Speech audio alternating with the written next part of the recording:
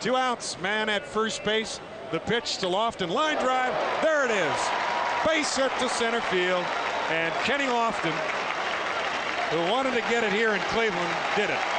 Number 2,000 for Kenny. And the fans here at Jacobs Field giving Kenny Lofton a standing ovation. And Kenny acknowledging taking off the hat. Tell you what, he had some tremendous years here in Cleveland and really deserves that round of applause. That's great to see. The fans appreciate the effort and the feat here by Kenny Lofton.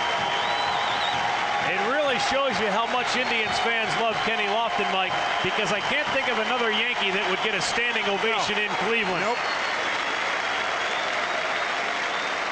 Well, he had such great years here in Cleveland.